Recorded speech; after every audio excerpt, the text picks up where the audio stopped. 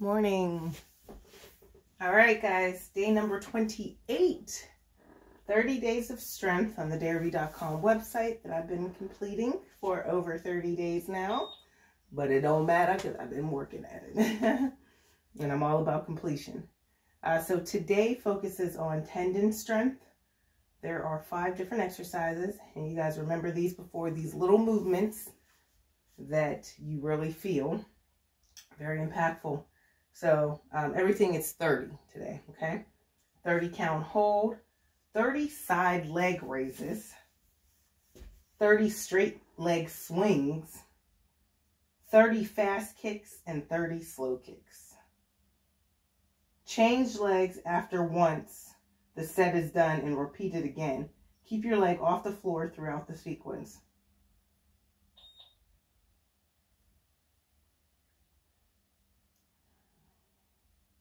Wait. Keep your leg off the floor throughout the sequence. Well, I know they're not talking about the bottom leg because how would you do that? And his is on the floor. He's talking about the top leg. Keep it from resting. And so, all right. Well, we about to do this. And today I'm focusing on listening to a prayer. I just feel like, and I know I need to focus on my gratitude and just praying and you know and this is a, a low impact workout um, that we're really going to feel so it allow me to just be present and and feel god around me and you know there's you know life's good don't get me wrong life is wonderful um, you have your good you have your challenges and um, you got to be thankful and grateful through them all because it could always be worse. Um, always be worse in the pursuit of health, wealth, happiness. You know what I'm saying? all right, so we are going to actually keep this bad boy down here with us. Um, so this is starting off with the leg, 30 second leg count. So, um, is this hair on the floor? It is. I was looking for this hair when I was doing Ava's hair the other day. I was combing her hair out and I'm like, where did that bushel of hair go? Found it.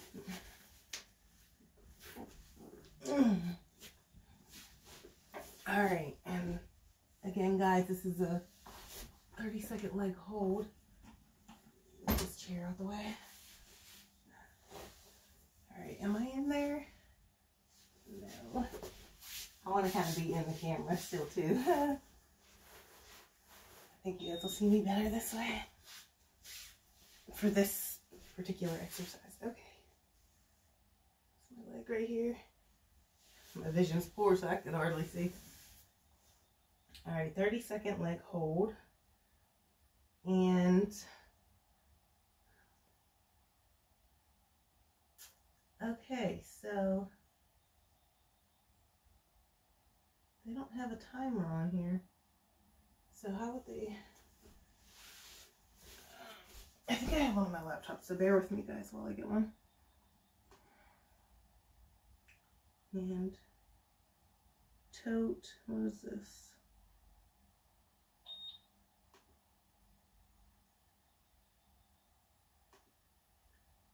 All right, guys, so would it be with my calculator or what is it?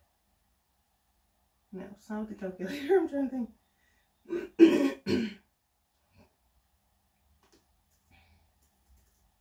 Timer 10 seconds.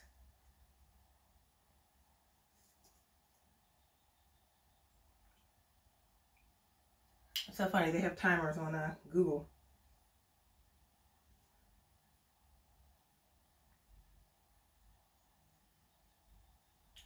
Um, so we're going to start it at 40 seconds. I just typed in timer in Google. Timer popped up right on the Google search page. I can just put in the amount of time. Awesome, huh? so again, we're going to start off at the 40 seconds and we're going to do the leg hold from there. So let's get our motivation on, which is again, it's blessed and encouraging morning prayers. Start your day in God's presence. That's the name of this YouTube video. Let's go. Corinthians 10, verses 3 through 5. For though we walk in the flesh, we do not war according to the flesh. For the weapons of our warfare are not carnal, but mighty in God for pulling down strongholds, casting down arguments and every high thing that exalts itself against the knowledge of God, bringing every thought into captivity to the obedience of Christ. This is one of those passages of Scripture that really puts things into perspective. The Bible is telling us here that although we live in this world, we do not and we should not fight our battles like the world. In fact, the weapons that we have available to us aren't physical weapons. But note how the Bible says, For the weapons of our warfare are not carnal, but mighty in God. The weapons we can access as children of God have divine power.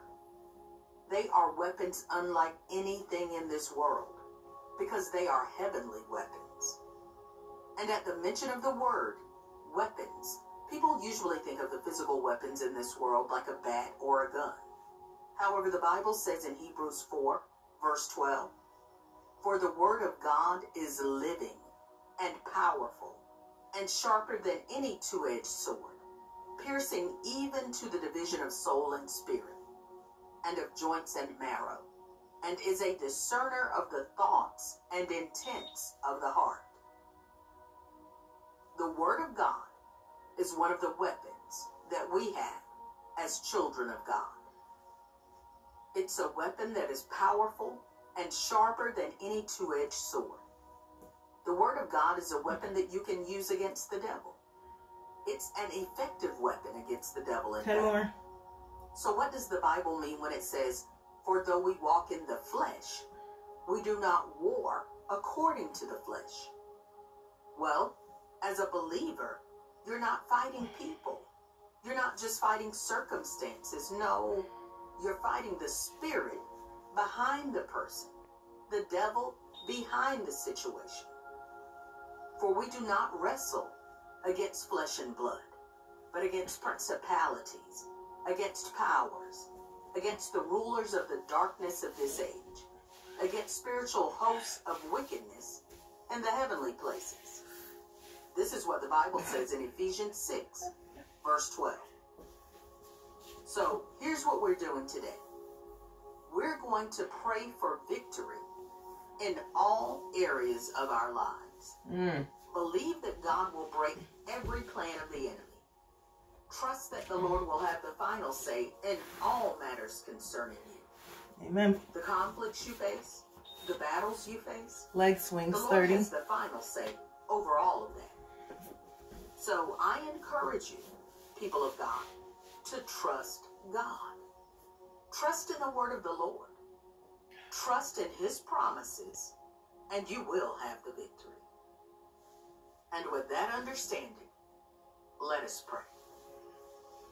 Lord Jesus, we look to you today concerning all things. We honor you and we reverence your holy name. Only you deserve the glory, God. Only you deserve my honor and my praise. My prayer today, Lord, is that you would fight for me. Fight my battles, Lord.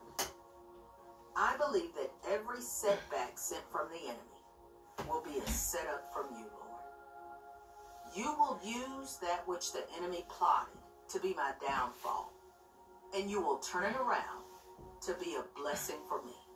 In Jesus' name. In you, Father, I find strength.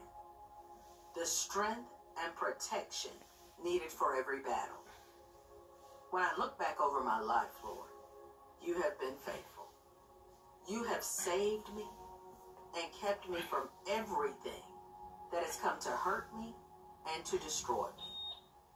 It's only by your grace and mercy that I'm still here, that I'm still able to lift my voice, that I'm able to lift my hands, and able to thank you for your kindness and your protection.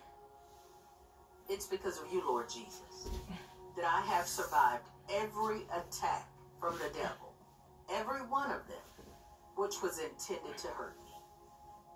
I rebuke, cancel, and destroy every assignment, every plot, and every attack of the enemy over my life and over the lives of my family members.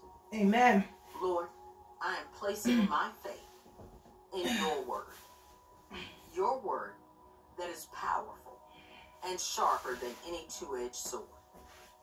I'm holding on to your word that says in 1 John 5, verse 18, we know that whoever is born of God does not sin. But he who has been born of God keeps himself, and the wicked one does not touch him. You, my God, are my keeper. And according to your word, the devil cannot touch me. I thank you, Lord, for such protection.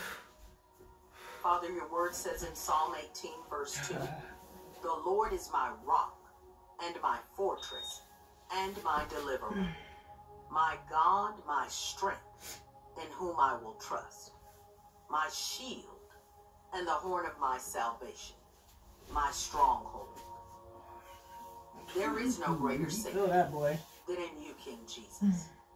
There is no other way for victory than you, Lord. Your name is a strong tower, and I run to you. Mm-hmm. Lord Jesus, you alone 30 fast can deliver me from all of my struggles. You alone can deliver me from every stronghold and everything that seeks to stop my mm-hmm. spiritual growth. Your word says the Lord is faithful, and he will strengthen you and protect you from the evil one. I praise you for your word and its promise, the promise to protect me from the evil one. Protect me from all of the traps that he sets. Protect me from all of the schemes of the devil. God, I thank you for being faithful. You, Lord, are a faithful God. Hmm. In the name of Jesus, there is no weapon forged against me that will prevail. In the name of Jesus, I refute every tongue that speaks evil against me. Father, everything that seeks to disturb the peace in my mind, everything that seeks to destroy the peace in my spirit, I ask today, Lord, that you remove it and let it be placed far away from me. Mhm. Protect my peace of mind, Lord. Protect the peace within my soul, Lord. When life presents me with situations and circumstances that are difficult and that come to test me, I pray that you would give me the grace to overcome. God, I pray that you would give me the strength to overcome. By faith, I will turn to you for guidance. By faith, I will trust in you for the victory, even when I don't see 30 slow kicks. So I pray that in my life, faith would reign instead of fear. God, help me to overcome feelings of confusion and worry, and instead give me the assurance, the belief that no weapon formed against me will prosper. May you be my load bearer. May you be my resting place, Lord Jesus. May you be my rescue. And Lord, help me not to succumb to the tricks of the enemy. I will stand on your word that says in 2 Timothy 4, verse 18, and the Lord will deliver me from every evil work and preserve me for his heavenly kingdom. To him be glory forever and ever. Amen. I ask that your presence would be with me always. I bless your holy name, and I thank you for hearing my prayer. It's in Jesus' name that I pray. Amen.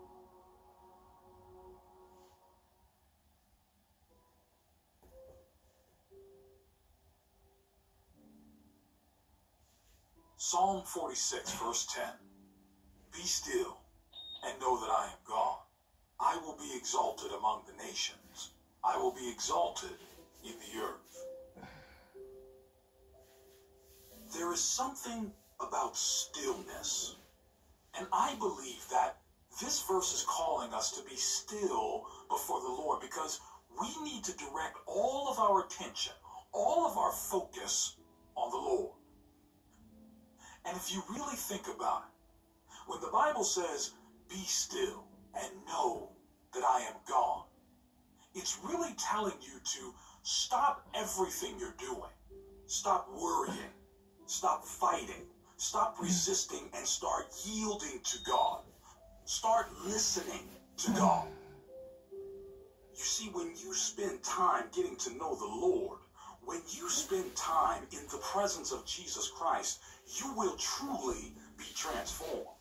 And I encourage you to desire and hunger for these types of rich encounters in the presence of God. Because it's only in those one to one intimate encounters that each of us can get a personal revelation of who God truly is. It's only in those one to one intimate encounters that each of us can be empowered and filled with courage the courage to face the world and stand up for Christ. The courage to stand up to the devil and declare that Jesus Christ is Lord.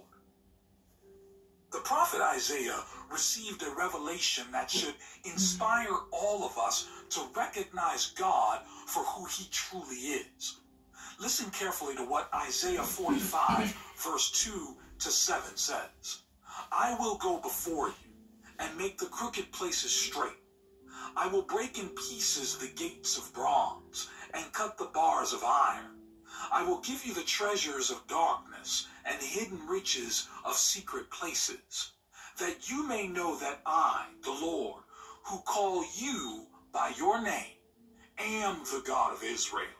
For Jacob my servant's sake, and Israel my elect. I have even called you by your name. I have named you, though you have not known me. I am the Lord, and there is no other. There is no God besides me. I will gird you, though you have not known me, that they may know from the rising of the sun to its setting that there is none besides me. I am the Lord, and there is no other. I form the light and create darkness. I make peace and create calamity. I, the Lord, do all these things. This is a wonderful revelation of just who God is. God is firmly in control. God is all knowing. God is almighty. Isaiah 45, 22 to 23 says, Look to me and be saved, all you ends of the earth, for I am God, and there is no other. I have sworn by myself, the word has gone out of my mouth in righteousness, and shall not return. That to me every knee shall bow, every tongue shall take an oath. In those moments where we are still before God, we need to realize just how mighty God is, just how powerful God is. The Bible tells us there is no one and nothing that can be compared to God. We need to remember this. Nothing and no one is worthy to be competing for the number one spot of your heart. God should be first. Now let us pray. Dear Lord, I worship you because you are the God who makes crooked places straight. You are the God who can move mountains, and you certainly deserve all the honor and praise. Lord, your word says in Isaiah 45, verse 22 to 23, Look to me and be saved, all you ends of the earth, for I am God and there is no other. I have sworn by myself, the word has gone out of my mouth in righteousness and shall not return. That to me every knee shall bow, every tongue shall take an oath. I am looking to you, King Jesus. I am looking to you to transform my life. I am looking to you, King Jesus, to save my soul. I am looking to you, Lord, as my Redeemer and Messiah. There is none like you, Father. No one can be compared to you. Help us to be still and know that you alone are God. Help us to have a sacred commitment to spend time alone with you. Let it be a daily desire that we seek to spend time alone in your presence. Holy Spirit, I ask that you help me to make prayer and reading God's word a priority in my life in the midst of a busy world. Keep our lives from controlling us. Help us to keep hmm. our relationship with Jesus Christ a priority. Holy Spirit, I ask that you never give up on us. Don't stop convicting me and pulling me in the direction of the Lord. Help me to set my eyes and affections on heaven. John 14, verse 16 says, And I will pray the Father, and he will give you another helper, that he may abide with you forever. Help me, Holy Spirit. Help me to seek God's presence on a daily basis. The Bible says in 1 Peter chapter 2 verse 1 to 3, therefore laying aside all malice, all deceit, hypocrisy, envy, and all evil speaking, as newborn babes desire the pure milk of the word, that you may grow thereby, if indeed you have tasted that the Lord is gracious. Under your guidance, Holy Spirit, I pray that I may begin to grow spiritually and in faith. I pray that I may grow in knowledge. Help me to grow as a believer and become spiritually mature. Holy Spirit, help me to grow in my knowledge of God and of his ways. Help me to grow each day as I meditate upon the living word of God. The Bible says in Psalm 119, verse 25, My soul clings to the dust. Revive me according to your word. Revive me, Lord. Revive my spirit and refresh my desire to chase after you. Revive my spirit so that I may be alert and sensitive to your presence, King Jesus. Lamentations 3, verse 25, the Bible reads, The Lord is good to those who wait for him, to the soul who seeks him. I will wait on you, Lord Jesus. I will wait on you with an expectant heart. I pray that the Holy Spirit will create a fire in me that burns brightly for the things of God. A fire that burns for Jesus Christ. You are number one in my life, King Jesus. You are the King of my heart.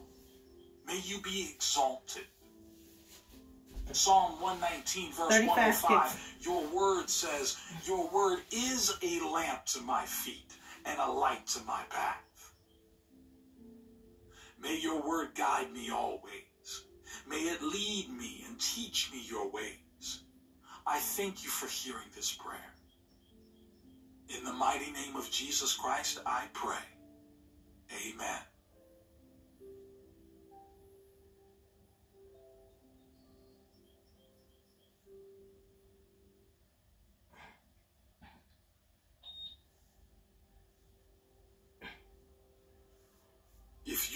State of world affairs, there's a lot of uncertainty. And these are precarious times we're living in.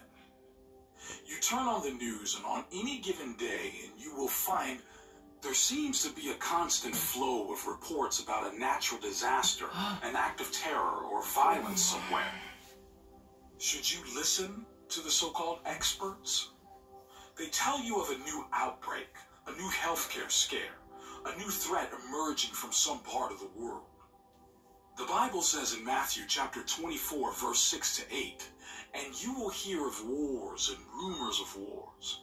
See that you are not troubled, for all these things must come to pass, but the end is not yet. For nation will rise against nation, and kingdom against kingdom. And there will be famines, pestilences, and earthquakes in various places. All these are the beginning of sorrows. So, as Christians, how are we to take this information in? How are we to navigate through the coming months? Because a lot of people will naturally be fearful.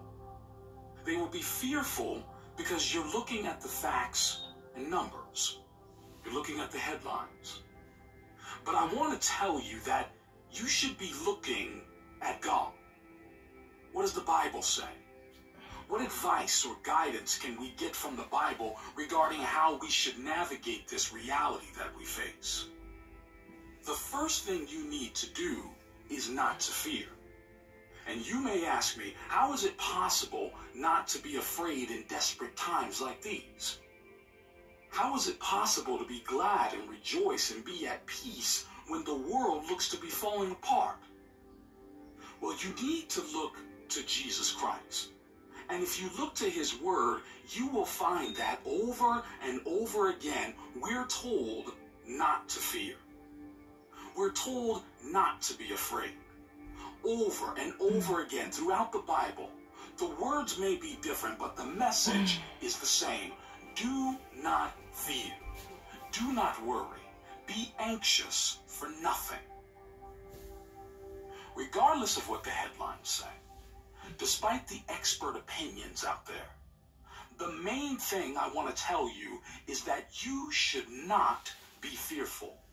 You ought to be careful, yes, but never fearful.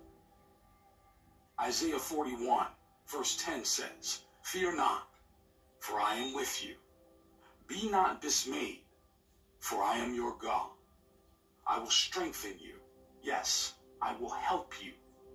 I will uphold you with my righteous right hand. These are the sort of scriptures that you and I need to dwell on in order to overcome fear, in order to defeat this crippling spirit. We as children of God need to feed our faith with the Word of God. We need to get so full up on the gospel that there is no room for fear. So whatever the coming months may hold, you need to make sure All right, guys. Day number 28. Done. Oh, gosh. Telling you, those little movements done repetitively. But I love it, though, because I had such bad cellulite. I still got the cellulite here, but the more I work out, you know, work on my legs and stuff, it tightens up my skin and minimizes the appearance of cellulite. You know what I mean? Which is nice. but I'm a woman. So a little bit of cellulite I ain't gonna be tripping about. But do something positive today for your mind, your body, your soul. Right, y'all.